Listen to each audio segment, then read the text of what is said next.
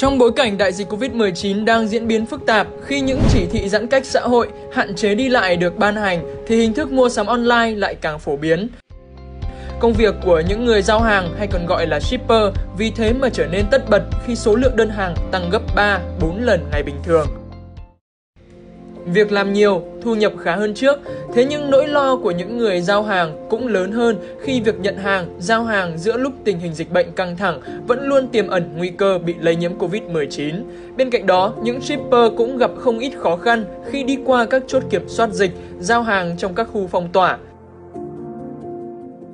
Để thực hiện việc giãn cách xã hội, hai thành phố Hà Nội và thành phố Hồ Chí Minh cũng đã cho tạm dừng một số hoạt động giao hàng đồ ăn hay qua các ứng dụng công nghệ khi giao hàng trong mùa dịch thì mình gặp phải rất nhiều khó khăn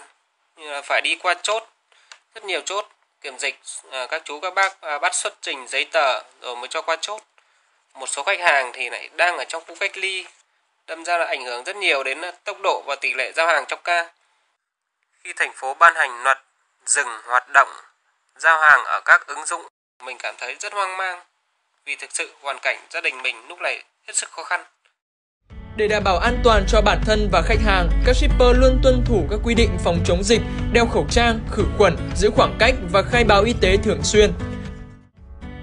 Nhằm tạo điều kiện cho các shipper vận chuyển hàng đến tay người dân an toàn và nhanh chóng, thành phố Hà Nội đang triển khai cấp thẻ vận chuyển cho 700 shipper giao nhận hàng hóa. Trong khi đó, thành phố Hồ Chí Minh cũng đã bổ sung shipper vào danh sách các đối tượng được tiêm vaccine COVID-19.